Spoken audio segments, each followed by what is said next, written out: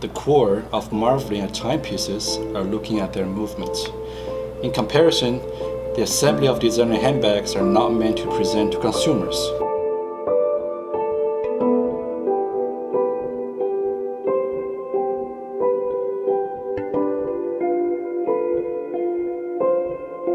We're gonna do the unstitching first. Um, treat it as you were, as the artisan, leather craftsman is stitching the bag. Uh, we're gonna show our full respect to this expensive piece, which has been has been loved by someone, but no longer needed.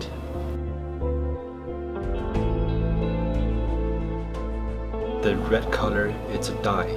Usually, it's called edges. For Louis Vuitton, this layer is actually very thin. Uh, with, with Prada, with Chanel, uh, usually it's very thick. See the middle? This is what I want to show you. This is hemp, a natural grass or natural plant that acts as the core of our handle. And the reason for using hemp is because it's soft. The longer you hold your handle, it changes the shape.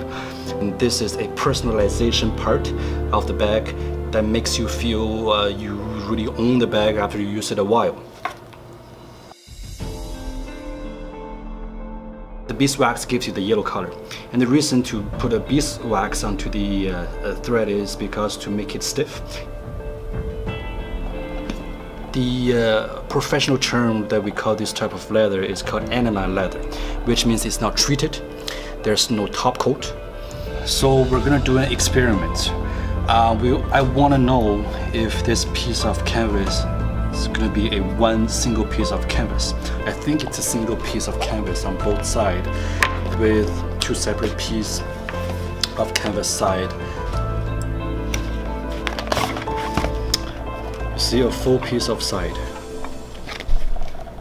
I'm gonna find out um, how the printing of the monogram is being done on the canvas and I'm gonna try to uh, find that answer and tell you guys in the next video. Inside, we're gonna see we have a inside lining and this piece is not a lining, but it's gonna add some thickness of, of your handbag or to give it more shape. And then we see a long single tube of, of, of, of uh, plastic in the middle um, that, that, that acts as the core of, of the piping, just as the handle. Here is the other side of the stud. Uh, this is how it looks like and this is a, a, bag shaper. I think it's a bag shaper. It's it's more stiff, so it gives the bag a shape. And I'm gonna show you this piece of leather with the Louis Vuitton. How they did it is they hot stamp it.